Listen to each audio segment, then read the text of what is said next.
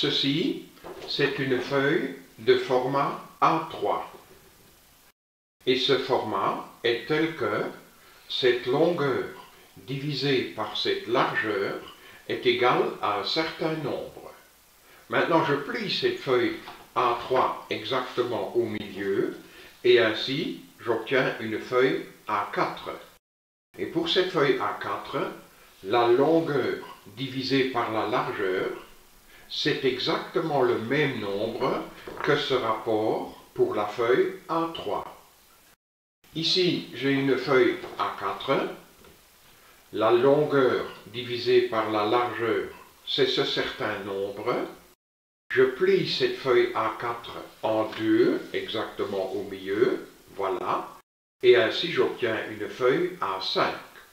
Et pour cette feuille A5, le rapport de la longueur à la largeur, c'est de nouveau ce même nombre que pour la feuille A4. Mais comment sont déterminées exactement les dimensions d'une feuille A4 Et qu'est-ce que ça a à voir avec la racine carrée de 2 et la racine carrée de 3 C'est ce que nous allons analyser maintenant. Un tel agrandissement ou rétrécissement d'une feuille en conservant le format, c'est-à-dire en respectant que la longueur divisée par la largeur est la même que cette longueur-là divisée par cette largeur-là, un tel rétrécissement ou agrandissement peut être obtenu au moyen de ce qu'on appelle une homothétie centrale. Les mathématiciens disent que ces deux rectangles sont semblables. Nous allons maintenant reprendre une feuille A4 je vais la bouger de là. Maintenant, je vais la faire tourner de 90 degrés. Et puis, je vais la placer sur cette feuille A3. Je peux la placer une fois et une deuxième fois. Ce qui signifie donc que cette longueur de cette feuille A3, c'est exactement le double de la largeur de cette feuille A4. Et la largeur de cette feuille A3, ça c'est exactement la longueur de cette feuille A4. Donc nous avons ici, longueur est égale à 2 fois B, et cette largeur est égale à L, ce L là. Nous allons maintenant exprimer justement que le rapport longueur sur largeur est conservé pour cette feuille-là. Donc, nous obtenons ainsi que L sur B, longueur sur largeur, est égal à 2B sur L, cette longueur-là divisée par cette largeur-là.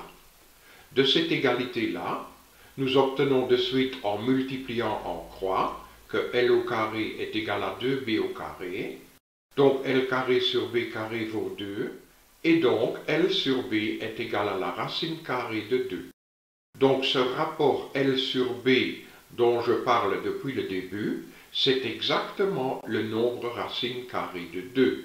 Ce qui signifie donc que pour toutes les feuilles de format DIN A, la longueur, c'est exactement racine carrée de 2 fois cette largeur. Et qu'est-ce que tout ça a à voir avec la racine carrée de 3 Pour voir cela, on trace simplement une diagonale de la feuille et ainsi, on a ici un triangle rectangle. Le théorème de Pythagore dans ce triangle rectangle dit que d au carré, c'est égal à b au carré plus l au carré. Nous en déduisons donc que d, c'est la racine carrée de b carré plus l carré, mais le l carré, c'est la même chose que 2b carré. Par conséquent, nous avons comme radicant 3b carré.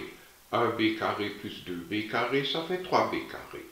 Et donc, la diagonale, c'est exactement racine carrée de 3 fois la largeur de la feuille. Et comment détermine-t-on à partir de cela les mesures exactes d'une feuille A4 On fait ça comme ceci. On part du format A0, pour lequel on a également longueur est égale à la racine carrée de 2 fois la largeur, et dont l'air est exactement un mètre carré. Cette feuille-là, on la plie au milieu, ainsi on obtient une feuille A1. Cette feuille A1, on la plie également au milieu et on obtient une feuille A2.